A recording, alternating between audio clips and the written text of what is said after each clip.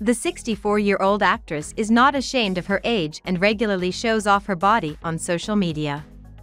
Many fans consider her the standard of beauty and are amazed at how she manages to stay in shape.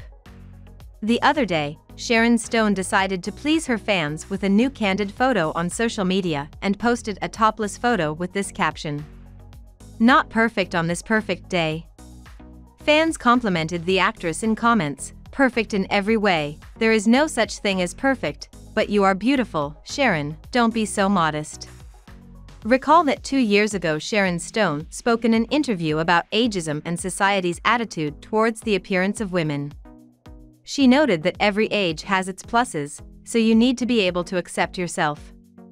You don't have to stay a pretty girl forever.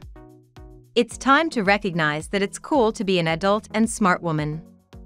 As I get older, I'm becoming more like the European woman who only gets better over the years and who understands that women are more beautiful than young girls because they are wise and know a thing or two.